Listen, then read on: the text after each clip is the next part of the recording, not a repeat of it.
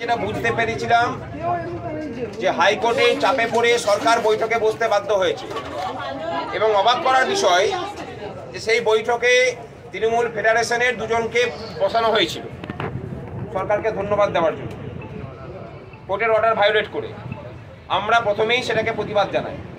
বৈঠকের মিনিমস লেখার কথা বলেছিলাম, ওনারা সেটাও করেনি সুতরাং এই সরকারের যে মানসিকতা, ন্যূনতম আইনবোধ, সেটার কোনোটাই নেই। এবং উপর থেকে নিচে পর্যন্ত যে গোটাটাই যে বেআইনিভাবে চলে, আজকের বৈঠকের পরে সেটা প্রমাণ হয়ে গেছে, কারণ আজকের বৈঠকে মুখ্য সচিব, অর্থ সচিব, স্বরাষ্ট্র সচিব তিনজনই ছিলেন। আমরা যেসব কথা জিজ্ঞাসা করেছি, কোনোটার যুক্তিগ্রাহ্য উত্তর ওনারা দিতে পারেননি। যে ভাষাতে আমরা এই মঞ্চে দাঁড়িয়ে কথা বলি, সেই ভাষাতেই আমরা কথা বলি যে চাকরিগুলোকে বিক্রি করেছেন এবং সেটা পরিকল্পিতভাবে করা হয়েছে। গোটা রাজ্য জুড়ে কর্মচারীদের যে মহার্ঘ ভাতা, সেটা পরিকল্পিত, বহির্ভূতভাবে কর্মচারীদের কাছ থেকে কেটে নিয়ে বিভিন্ন জায়গায় দান খয়রাতি করা হয়েছে এবং সেটা দুর্নীতি হয়েছে। আমরা সেটা বলেছি। এটাও জিজ্ঞাসা করেছি।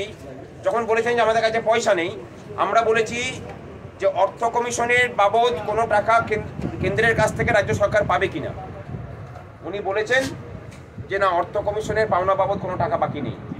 বলছে, আপনারা জানেন যে এই যে মন্নেগার টাকা বাকি আছে?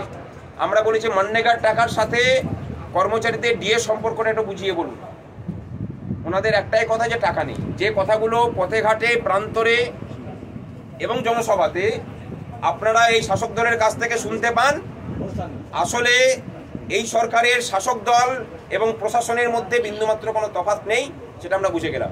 আমরা বললাম যে দুঃখের বিষয় হচ্ছে, আপনারা যারা বসে আছেন, কর্মচারীদের মহার্ঘ ভাতাটাকে হরপ মানে হরণ করার জন্য তারা কিন্তু প্রত্যেকে বিয়াল্লিশ শতাংশ মহার্ঘ ভাতা পান আমরা ছয় শতাংশে আছি। আমাদের ছয় শতাংশটাকে কি করে আরও কমানো আর কি করে মেনে নেওয়া যায়, সেই, সেইটার প্রচেষ্টা আপনারা করে যান দিনরাত্রি আর আমরা বঞ্চিতের জায়গাতে থেকে যাই। দুর্ভাগ্যের বিষয় যে আপনাদের সাথে আমাদেরকে বৈঠকে বসতে হচ্ছে। এবং আপনারা যুক্তি দিয়ে বোঝাবেন যে কেন আপনাদের বিয়াল্লিশ শতাংশটা বৈধ আর আমাদের ছয় শতাংশটা মানে অবৈধ আর কি।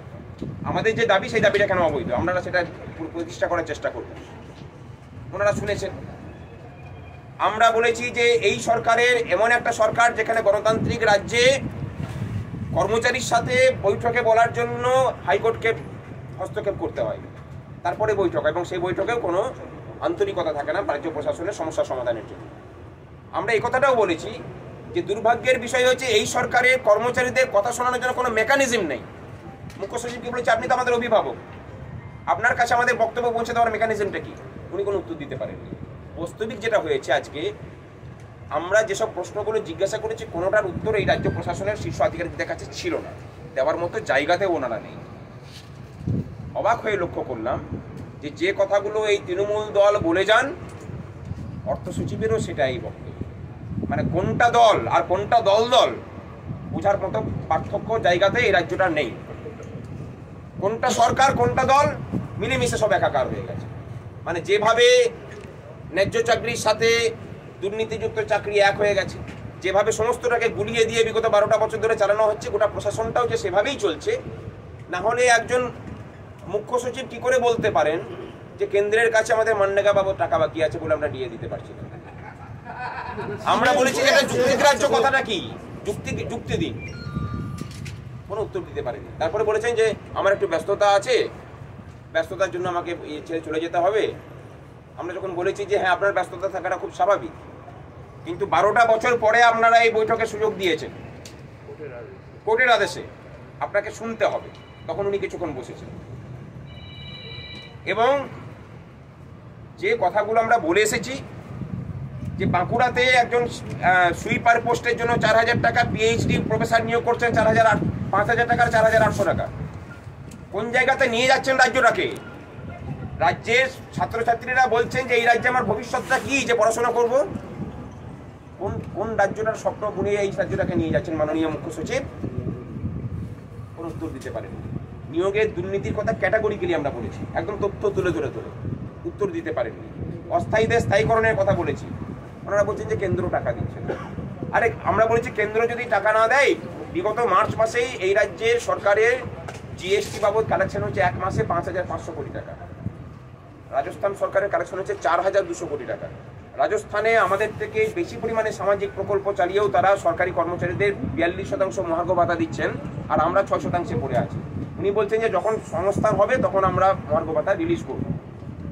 আমরা বলেছি যে বিগত বারোটা বছরেও কি সেই সংস্থানের জায়গা জুটলো না?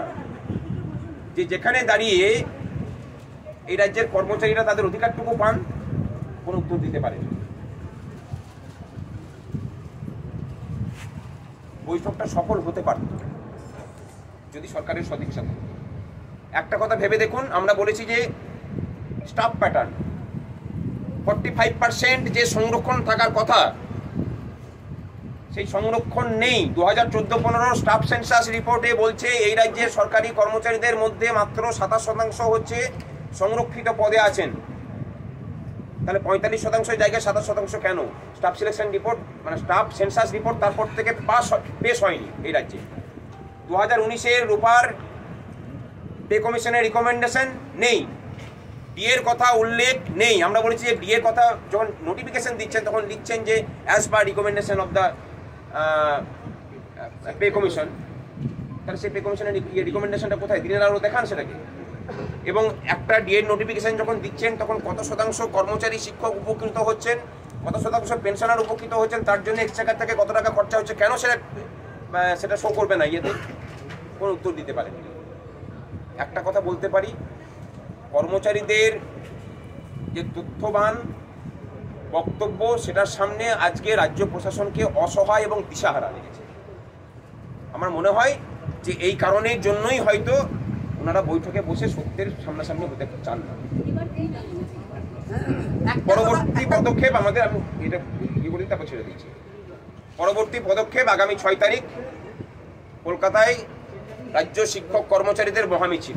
এ ডাক দিচ্ছে সংগ্রামী যৌথ মঞ্চ। তার সাথে যদি আরও কোনো মঞ্চ হিসেবে যোগ দেয় তারা দেবেন। কিন্তু আমার বিশ্বাস যে পঁচাশি দিন পরেও কর্মচারীদের সাথে যে প্রতারণা এই রাজ্য সরকার করল তার জবাব ছয় তারিখেই শিক্ষক কর্মচারীরা দিয়ে দেবেন। হরিশ্চরের যে স্ট্রিটের সামনে হয়ে মিছিল যাবে। তার শুরু এবং শেষটা আমরা পরে বলে দেবো। একটা কথা যেটা বলি, সেটা হচ্ছে ঝুলি থেকে একটা বেড়াল বেরিয়ে গেছে।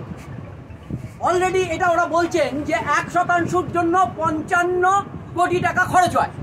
আমরা সঙ্গে সঙ্গে হিসাব করে দেখছি, তেইশ হাজার সাতশো ষাট কোটি টাকা মাত্র খরচ হয় পশ্চিমবাংলার সমস্ত কর্মচারীদের দিয়ে মিটিয়ে দেওয়ার জন্য। এই টাকাটা কি খুব বড়?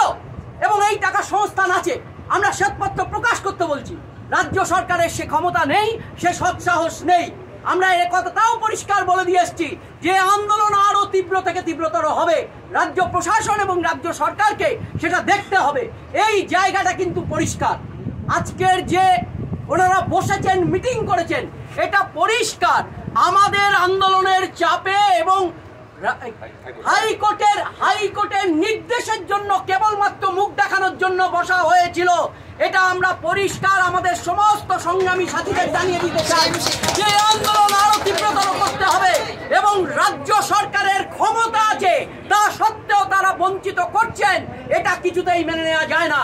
এবং আমাদের ঘরের ছেলেমেয়েরা সাতশো আটষট্টি দিন ধরে বসে আছে। আমরা দেখিয়েছি যে এত শূন্য পদ সেই শূন্য পদ পূরণ করা হচ্ছে না, অথচ আপনারা করতেই পারেন। সে ব্যাপারে তারা নিরুত্তর। স্কুলগুলো মরে যাচ্ছে, শুকিয়ে যাচ্ছে, টিচারের অভাবে। সেকালে তারা নিরুত্তর এবং এই অনিয়মিত কর্মচারীদের তারা নানানভাবে তুলে আনতে চেয়েছিলেন যে এই করা হয়েছে, কেন্দ্র সরকার বলেছিল, তারা টাকা দেয়নি।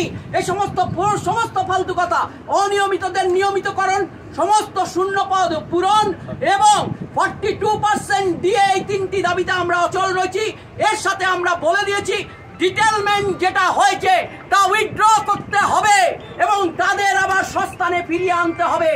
টাকা কাটার জন্য যে নির্দেশ দিয়েছেন, সে নির্দেশ অবৈধ, সে নির্দেশ অনৈতিক, সেটাও প্রত্যাহার করতে হবে। এটা পরিষ্কার আমরা জানিয়ে দিয়ে এসেছি। কোনো কিছু জিজ্ঞাসা থাকলে সেটা করতে ছ পারে তারিখ বা সাত তারিখ জেলায় জেলায় কোনো কর্মসূচি আছে? ছ তারিখে তো কলকাতায় যাওয়া হবে। জেলায় জেলায় তো চলছে।